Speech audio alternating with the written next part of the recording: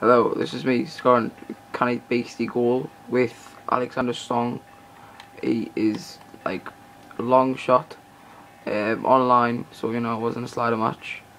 Um, I looked before this video and he had 41 long shot, and um, well this is it.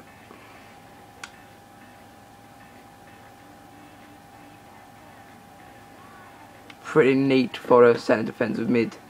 So there you go.